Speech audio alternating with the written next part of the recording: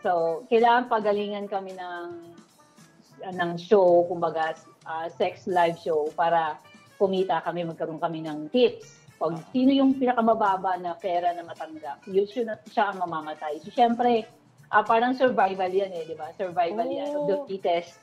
Yes. So, maraming sex scenes dito, actually.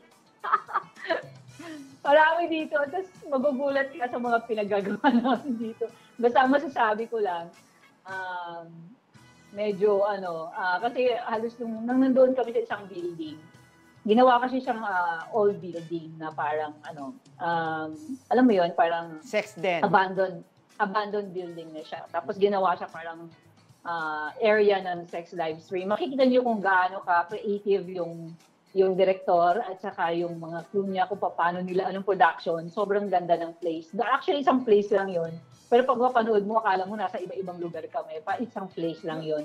So, buong araw kami hanggang madaling araw, naka two-piece at ako naka G-string.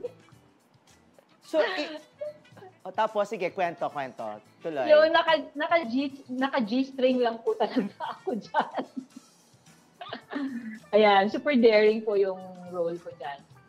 Kaya, since, uh, yan. Tapos mom kasi ako dyan, di ba? So, kailangan ko mag-survive. Tapos, kailangan ko mag-survive. So, Uh, basta super daring yung role ko. Ako pinaka-daring dyan. At saka si ano din, Salome din naman, uh, Salome din naman Salve, tsaka ano.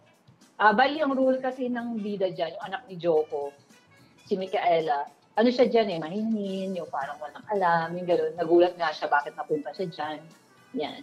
So, abangan po nila yun kung mga sex scenes namin doon. Sobrang grabe.